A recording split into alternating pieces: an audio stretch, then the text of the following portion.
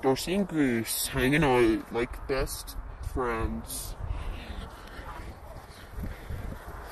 Hey guys, we need to it. Ah.